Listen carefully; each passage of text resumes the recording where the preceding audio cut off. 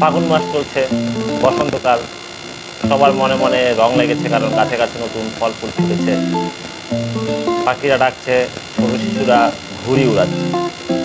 আমারও মন চায় ছোটো শিশু জগতে ঘুরে উড়াই, অথবা নিজেই ঘুরি হয়ে আকাশে উড়ে বেড়াই তা তো আর সম্ভব না। তবে যেটা সম্ভব সেটা হচ্ছে আমার নাম পরিবর্তন করা। নাম পরিবর্তন কেন? এই বিষয়টা একটু খোলাসা করে দেবো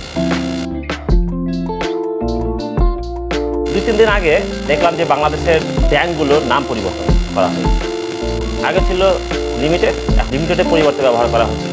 পিএল আরও একটু খোলামেলা শুরু করি ধরুন, আগে সোনালী ব্যাংকের নাম ছিল সোনালী ব্যাংক লিমিটেড কোম্পানি। এখন লিমিটেড উঠে গিয়ে সেখানে ব্যবহার করতে হবে সোনালী ব্যাংক পিএল অর্থাৎ পাবলিক লিমিটেড কোম্পানি। পাবলিকের পি লিমিটেডের এল কোম্পানির সি সোনালী ব্যাংক পিএল একইভাবে বেসরকারি ব্যাংকগুলো একইভাবে নাম ব্যবহার করবে। যেমন ইসলামী ব্যাংক, তাদের নাম ছিল ইসলামী ব্যাংক লিমিটেড কোম্পানি। তো এখন এখন সেটা হয়ে গেল ইসলামী ব্যাংক পিএলসি নাম পরিবর্তনের মাধ্যমে এতটুকু নিশ্চিত হওয়া গেল যে আসলে প্রাইভেট ব্যাংকগুলোকে আত্মীকরণ করা হচ্ছে, রাষ্ট্রীয়করণ করা হচ্ছে। যেমন শিক্ষা প্রতিষ্ঠানকে এমপিওভুক্ত করা হয়।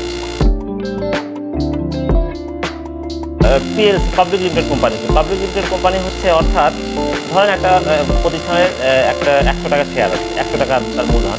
এই একশো টাকা মূলধনের মধ্যে ন্যূনতম একান্ন টাকা মূলধন থাকবে সরকারের হাতে।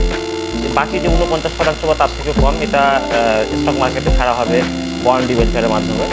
আর প্রাইভেট লিমিটেড কোম্পানি হচ্ছে যে যার এক, ন্যূনতম একান্ন শতাংশ শেয়ারের মালিকানা, অর্থাৎ একান্ন টাকা একশো টাকার মধ্যে একান্ন টাকা মালিক হবে। প্রাইভেট সেক্টরের জনগণ বা প্রাইভেট সেক্টরের মানুষ। এটা হচ্ছে প্রাইভেট লিমিটেড কোম্পানি যাই হোক, সরকার ব্যাংকগুলো কার্তিকরণের মাধ্যমে হয়তো বাংলাদেশ অর্থনীতিটাকে সুবাতাস বইবে। আর হ্যাঁ যেটা মূল বিষয়, আমার নাম পরিবর্তন। তো আমার নাম পরিবর্তন করে কি রাখা যায় সেটা আমি চিন্তা করতেছি। আমি এখন খুঁজে পাইনি। আপনারা যদি খুঁজে পেয়ে থাকেন, তো আমাকে অবশ্যই জানাবেন। সবাই ভালো থাকবেন, সুস্থ থাকবেন। আল্লাহ হাফেজ।